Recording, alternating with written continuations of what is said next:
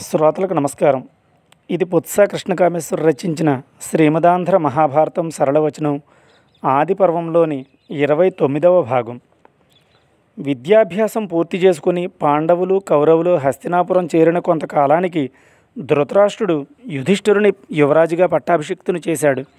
అతని నలుగురు తమ్ముళ్ళు నాలుగు దిక్కులను జయించి తాము గెలిచిన సంపదలను తమ అన్నగారికి సమర్పించారు.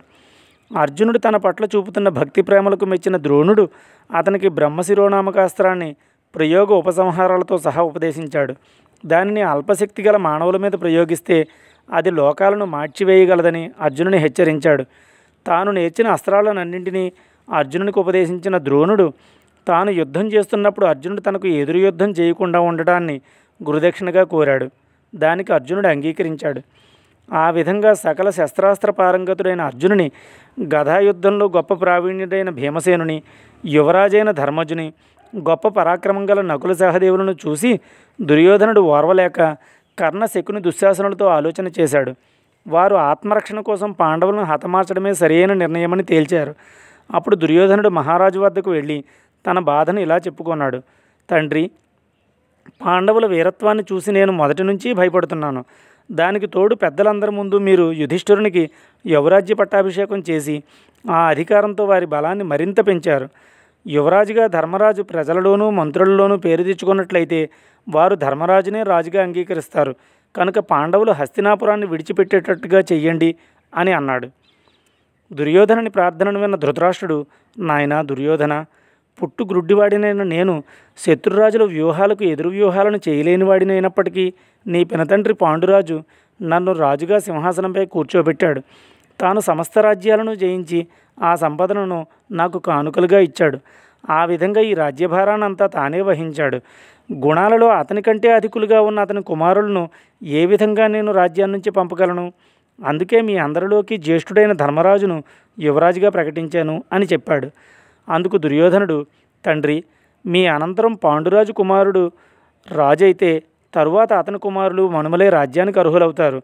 మేము తరతరాలు వారికి సేవకులుగానే బ్రతకాలి. మాకు అటువంటి గతి పట్టకుండా మీరు మాత్రమే చేయగలరు. మీరు కొంతకాలం పాండవులను వారణావతానికి పంపండి. అంతలో నేను ఇక్కడ దానాల చేత ప్రజలను సన్మానాల చేత అమాత్యులను నా మార్గం వైపు తిప్పుకుంటాను. మనకు రాజ్యాధికారం స్థిరపడిన తర్వాత వారు ఇక్కడికి వచ్చినప్పటికీ మనకు ఎదురుండదు అని చెప్పాడు.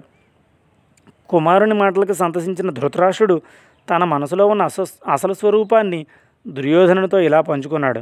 నాయన చాలా కాలం నుంచి నా మనసులో కూడా ఇదే అభిప్రాయం ఉంది. కానీ ఇది ఏ విధంగా వీలవుతుంది? దీనికి భీష్మ ద్రోణ విధులు అంగీకరిస్తారా అన్నది నా సందేహం అని అన్నాడు. దానికి దుర్యోధనుడు తండ్రి మీ ఆజ్ఞ మీద ఉన్న గౌరవంతో భీష్మ ద్రోణులు అంగీకరిస్తారు. అశ్వత్థామ నాకు స్నేహితుడు కావడం వలన కూడా ద్రోణుడు నా మాటను కాదనలేడు. ద్రోణుని వదలలేక కృపుడు కూడా నా మాట వింటాడు. భీష్ముడు మధ్యస్థుడు కనుక పాండవుల వైపు వెళ్ళడు.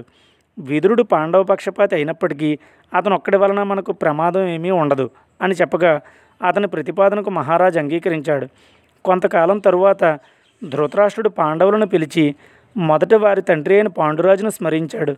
అతనికి ప్రీతి కలిగేటట్లుగా గంగానదీ తీరంలో ఉన్న వారణావతి నగరానికి వెళ్ళి అక్కడ పాండురాజు పేరు మీద గోదానాలు సువర్ణదానాలు మొదలైన మహాదానాలు చేసి బ్రాహ్మణులను తృప్తిపరిచి కొంతకాలం అక్కడే ఉండి రమ్మని పాండవులను ఆజ్ఞాపించాడు.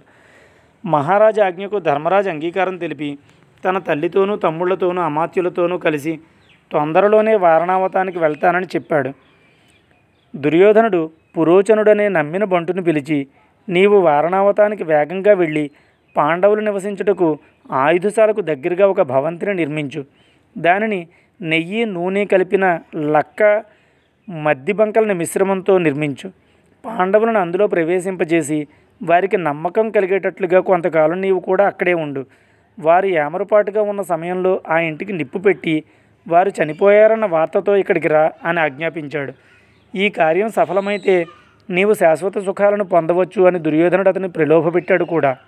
తరువాతి కథను తదుపరి అధ్యాయంలో తెలుసుకుందాం. ధన్యవాదములు.